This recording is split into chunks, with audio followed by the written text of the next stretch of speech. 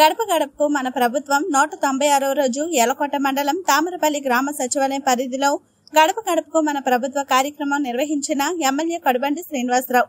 ప్రతి కుటుంబం సంతోషంగా ఉండటమే వైఎస్ఆర్సీపీ ప్రభుత్వం లక్ష్యమని గడప గడపకు మన ప్రభుత్వం ప్రతి ఇంటికి వెళ్ళి ప్రభుత్వం ద్వారా వర్తించిన పథకాల ప్రయోజనాలు ప్రభుత్వ విధానాలు ప్రస్తుత వైఎస్ఆర్సీపీ ప్రభుత్వం పాలన వ్యత్యాసాలు వివరించారు.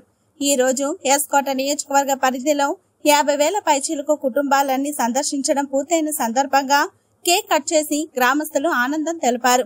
ప్రతి గడపలోకి వెళ్ళి రాష్ట్ర ప్రభుత్వం అమలు చేస్తున్న సంక్షేమ పథకాలను వివరించడం ఇంకా ఏమైనా సమస్యలు ఉంటే తెలుసుకొని అక్కడికక్కడే సమస్యను పరిష్కరించే దిశగా చర్యలు తీసుకుంటూ నేరుగా ప్రజలతో కలిసి వారి కష్ట సుఖాలను తెలుసుకుంటూ ఇంకా మెరుగైన పరిపాలన ఆంధ్రప్రదేశ్ ముఖ్యమంత్రి వైఎస్ జగన్మోహన్ రెడ్డి నాయకత్వంలో సాధ్యమవుతుందని ప్రతి ఇంటికి వెళ్ళి వారికి ముఖ్యమంత్రి పంపిన లేఖను అందజేస్తూ మూడేళ్ళలో దేవుడి దయతో మీ అందరి చల్లని చూపులతో మంచి చేశామని ఇక ముందు కూడా మంచి చేస్తామని ఆంధ్రప్రదేశ్ ముఖ్యమంత్రి వైఎస్ జగన్మోహన్ రెడ్డి ప్రభుత్వాన్ని ఆశీర్వదించాలని కోరారు. సమస్యను వెంటనే పరిష్కారం చేయటం కోసం ఇంత అద్భుతమైన కార్యక్రమాన్ని జగన్మోహన్ రెడ్డి గారు ఈరోజు ఈ రాష్ట్రంలో చేపట్టడం అనేది ఇది చరిత్రలో నిలిచిపోయే అంశం ఇది.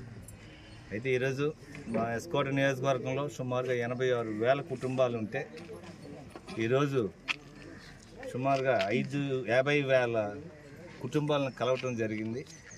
మా ఎస్కోట్ నియోజకవర్గంలో తొంభై నాలుగు సచివాలయాలు ఉంటే అరవై సచివాలయాల్లో ఈ గడప గడపకి మన ప్రభుత్వమైన కార్యక్రమం పూర్తి చేయగలిగాం. అయితే ఈ యాభై వేల కుటుంబాలని కలవగలిగే అవకాశం జగన్మోహన్ రెడ్డి గారు నాకు ఇచ్చినందుకు జగన్మోహన్ రెడ్డి గారికి జీవితాంతం రుణపడి ఉంటాను. ఎందుకంటే ఇందులో నాకు ఎన్నో ఎన్నో అనుభూతులు వచ్చాయి. సమాజం అంటే ఎలా ఉంటుంది? వెనకబడిన వాళ్ళు పేదరికలో ఉండే ఉండేవాళ్ళు వాళ్ళు పడే కష్టాలు ఏంటి?